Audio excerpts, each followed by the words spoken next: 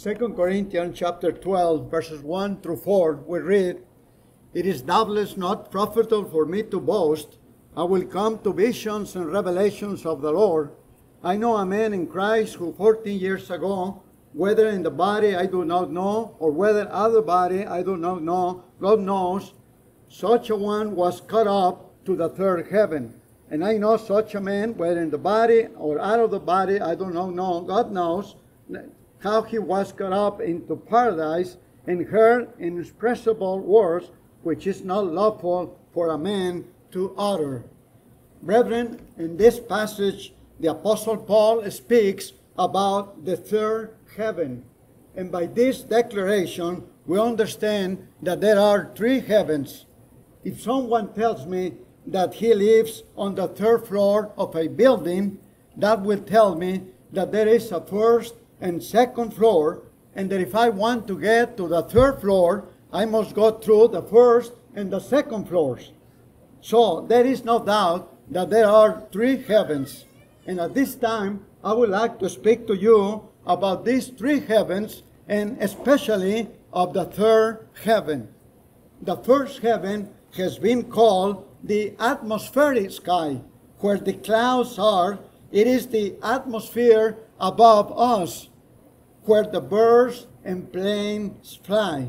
Scientists tells us that the atmosphere is 60 kilometers high. It is where it is here in this atmosphere, this sky, this heaven, if you please, that the Columbia astronauts uh, had their accident on February 1st, 2003, as they were coming, coming back from outer space. The shuttle space uh, was completely destroyed. This first heaven was created by God on the second day. Genesis 1 6 through 8. And God said, Let there be a firmament in the midst of the water, and let it divide the waters from the waters. And God made the firmament and divided the waters which are where, were under the firmament from the waters which were above the firmament, and it was so. And God called the firmament heaven, and the evening and the morning were the second day. In verse 20, it, it is called the open firmament of heaven, referring to the atmosphere.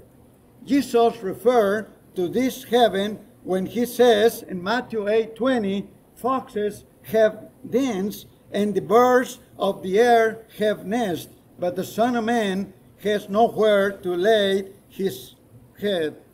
Now, the second heaven, it is called also the sidereal sky or heaven, which is where the stars, the sun, the moon, and the planets are. This heaven is where the astronauts have gone to do their experiments outside the atmosphere. David said, speaking about this heaven in Psalms 19 and verse 1, the heavens declare the glory of God, and the firmament showeth his handiwork. The prophet Isaiah declares these words in chapter 40 and verse 22 It is that that sitteth upon the circle of the earth, and the inhabitants thereof are as grasshoppers, that stretched out the heavens as a curtain, and spread them out as a tent to dwell in. To prove that this heaven is where the stars are, listen to what Christ says about this uh, heaven. Immediately, in Matthew 24 and 29, immediately after the tribulation of those days, shall the sun be darkened, and the moon shall not give her light, and the stars shall fall from heaven, and the powers of the heavens shall be shaken. So, we have talked already about the first heaven and the second heaven. But now let us talk about the third heaven. And it is in this heaven where uh, the Godhead or deity dwells. That is where our Heavenly Father is. In 1 King chapter 8 and verse 30, speaking Solomon in the dedication of the temple, he prays to God this way, And hearken thou to the supplication of thy servant and of thy people Israel, when they shall pray toward this place, speaking about the temple, and hear thou in heaven thy dwelling place, and when thou hearest, forgive. Also, this is where our Lord Jesus Christ dwells. Hebrews 4 and 14 says, Seeing then that we have a great, great high priest that is, that is passed into the heavens, Jesus, the Son of God, let us hold fast our profession. When the Lord ascended to heaven, he passed through the heavens to get to the third heaven. In Hebrews chapter 9, verse 24, for Christ is not entered into the holy places made with hands, which are the figures of the true, but into heaven itself, now to appear in the presence of God for us. It is to this third heaven that Christ ascended after his resurrection. It is this place that Stephen saw and saw look and saw the Lord Jesus Christ before he died. In Acts 7 and 56, it says, And behold, I saw the heavens open, and the Son of Man standing on the right hand of God. This place is called the heavens of heavens. Deuteronomy chapter 10 and verse 14. Behold, the heaven of the heavens of heavens is the Lord's thy God, the earth also, with all that there is. And the Apostle John had the privilege to saw in a vision the heavens where God dwells. And we can read about that in Revelations 21 10 through 27. So let's talk about some of the conditions that will exist in the third heaven. There will be eternal life, eternal. John 5 28 and 29 says, Marvel not at this, for the hour is coming, in the which all that are in the graves shall hear his voice, and shall come forth, they that have done good unto the resurrection of life. And that means eternal life. And those that have done evil unto the resurrection of damnation. And that also means eternal damnation. The inhabitants of this place are going to be conscious living eternally. Death will no longer exist since it was cast into the lake of fire. Revelations 20 and 14 says, And death and hell were cast into the lake of fire. So it's going to be life eternal. Secondly, there will be joy and gladness.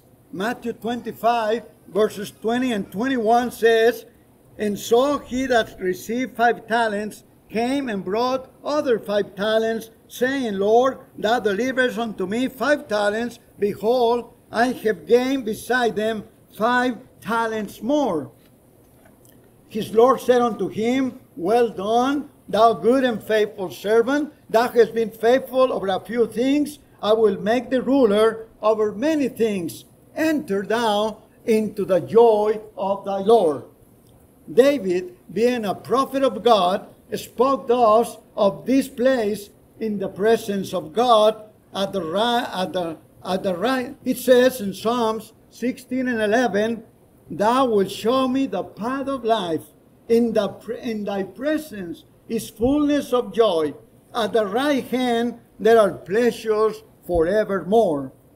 Also, brethren, there will be, is going to be rest Yes, Revelation 14 and 13 says, And I heard a voice from heaven saying unto me, Right, blessed are the dead which die in the Lord from henceforth.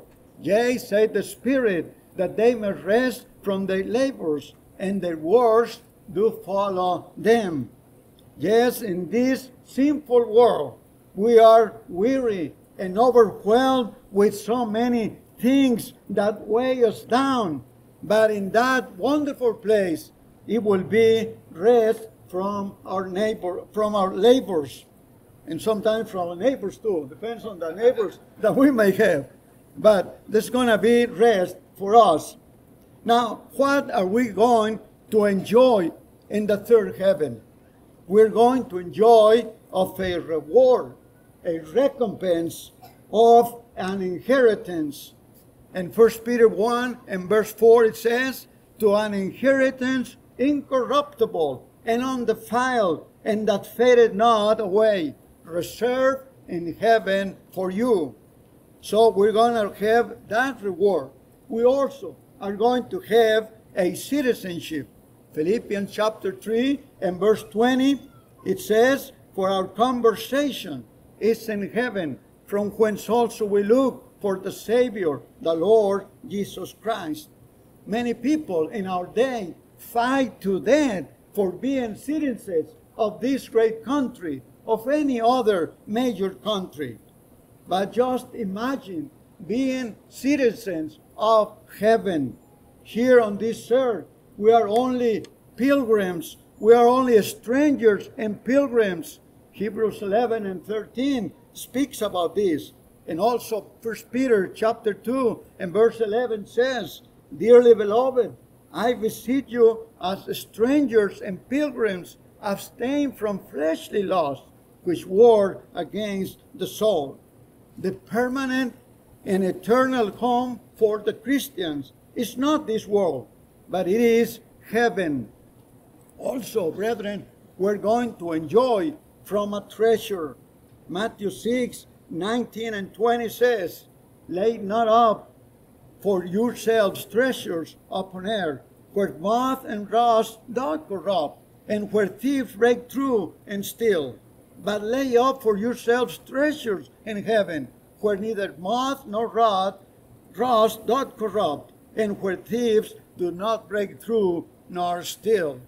And to the rich young ruler, the Lord said in Matthew 19 and verse 21, If you want to be perfect, go and sell all that you have and give it to the poor, and you will have treasure in heaven. And come and follow me. That is why the Lord tells us to strive for that treasure in heaven. Brethren, heaven is not just an imagination. Heaven is real. There is no other truth so well established in the Bible as the truth that it is heaven, and, and that heaven is the eternal dwelling place of the faithful, the righteous, the children of God. The word heaven appears more than 500 times in the Bible. God's word guarantees a life of happiness, full of blessings for the saved after this earthly life is gone. And He promised us blessings in that heavenly mansions. The Bible speaks about this place in 2 Corinthians chapter 5, verses 1 and 2. For we know that if our earthly house of this tabernacle were dissolved, we have a building of God, and an house not made with hands, eternal in the heavens. For in this we groan, earnestly desiring to be clothed upon with our house, which is from heaven. Also in John 14, 1 to 3 says, Let not your heart be troubled. Ye believe in God, believe also in me. In my Father's house are many mansions. If it were not so, I would have told you. I go to prepare a place for you. And if I go and prepare a place for you, I will come again and receive you unto myself, that where I am, there you may be also. There are there is a religious group, the Jehovah Witnesses, who deny that the saved will go to heaven. And not only this group teaches this false doctrine, but brethren, even some of our own brethren don't believe that these verses refer to heaven. Well, let me tell you this. And let me tell you these people. If they don't want to go to heaven, that's up to them. That's up to them. That's their decision. If they don't want to go to heaven, that's up to them. But I want to go to heaven. I want to go to that place that Christ went to prepare for us. I want to go to that wonderful place, that third heaven. I want to go home. I want to go and sit down and talk with Abraham, Moses, David, the Apostle Paul, and many other men of God and talk for eternity of God's wonderful love and mercy. I want to rest of all the problems, sufferings, and disappointments of this life, to be able to, know, to rest and to know that there will be no more sickness, no more pain, no more crying, no more death. Just imagine what beautiful thing is going to be to be in heaven. The writer of the letter to the Hebrews in chapter 4, verse 9 says, There remained therefore a rest for the people of God. And that rest is in heaven, my brethren. I want to witness the heavenly city, having for my life the glory of God and of the Lamb, to walk through the streets of gold, to see myself in the crystal clear water of the sea like crystal. And like brother said a while ago, the, the apostle John is just using words that we can understand. But heaven is more beautiful than we can imagine. The, the Lord uses these words to describe the beauties of heaven so that we want to go there. As he describes the horrors of hell so that we can avoid that terrible place. But heaven, brethren, is a beautiful, beautiful place. Revelations 22, 1 through 5 says, And he showed me a pure river of water of life, clear as crystal, proceeding out of the throne of God and of the Lamb. In the midst of the tree, street of it, and on either side of the river was there the tree of life, which bare twelve manner of fruits, and yielded her fruit every month. And the leaves of the tree were for the healing of the nations. And there shall be no more curse, but the throne of God and of the Lamb shall be in it, and his servants shall serve him.